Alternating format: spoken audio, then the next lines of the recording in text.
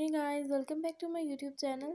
In today's video, we are actually telling about that how to care your pothos in your home. Pothos is a low maintenance winning indoor plant that easily mistaken for philodendron due to its similar heart-shaped leaves.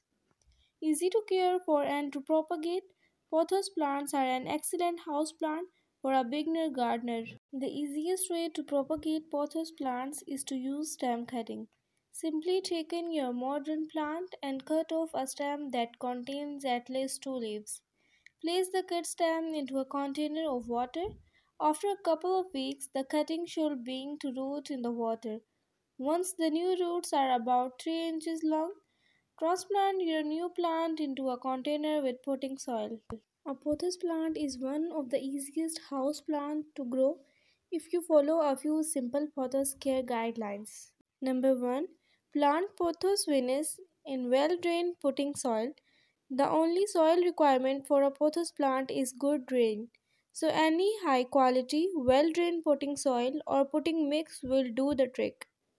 For any even higher drain capacity, try mixing perlite into your soil before plantation.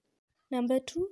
Provide pothos plants with bright indirect light. Pothos plants tolerate low light condition but their leaf variegation may fade if they are in the shade for too long.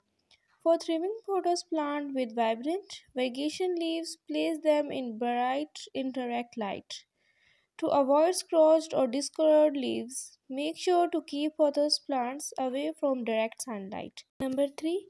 Let the top inch of soil dry out between watering. When the top inch of soil is dry, it's time for more water or your plant leaves may begin to wilt.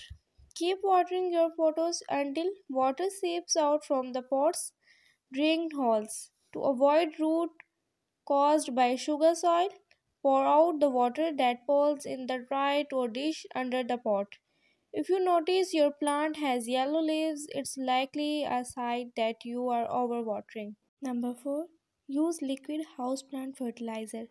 Pothos plants are thrive without fertilizer, but fertilizing once a month during the spring and summer growing season helps to maximize their growth. Number 5. Keep temperature moderate. Pothos plants grow between 60 and 80 degree Fahrenheit with high levels of humidity similar to tropic environments. Don't fret if your air is on the dry side. Even though they flourishing in high humidity, pothos plants tolerate all humidity level. Number 6. Report pothos plants occasionally. If your pothos plant is dropping, no matter how often you water it, that sign it's become root bound. Select a new container that is a couple of inches wider than the current pot and report the plant once its growing seasons being in the spring. Hope so this video is very informative for you all guys. At the end of this video I just want to say to subscribe my channel, like or share my video. Don't forget to comment and thanks for watching.